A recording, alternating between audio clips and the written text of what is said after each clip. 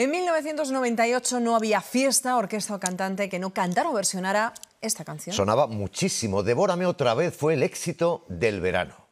Sueño he creído tenerte devorándome y he mojado Una canción que levantaba cualquier ambiente un poco alicaído.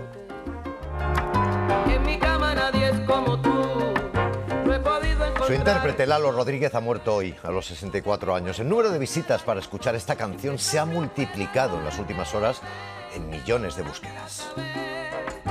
Y quiero decirle que mi ritmo llegó. Su ritmo no solo llegó, devoró devorándome los escenarios. y he mojado mis sábanas blancas recordándote. Desde los 16 años cantante profesional y con menos de 30 se convirtió en el primer latino en ganar dos Grammys.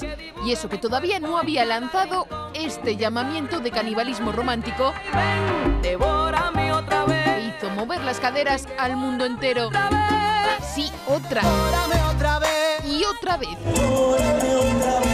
Este tema sonaba en cada chiringuito de playa, en cada fiesta, en cada repertorio salsero. Ese tema, si ustedes se meten a YouTube, en Francia, en Dinamarca, hay versiones de Devórame en los, en los idiomas de ellos. Decenas de versiones han ido llevando este título hasta nuestros días.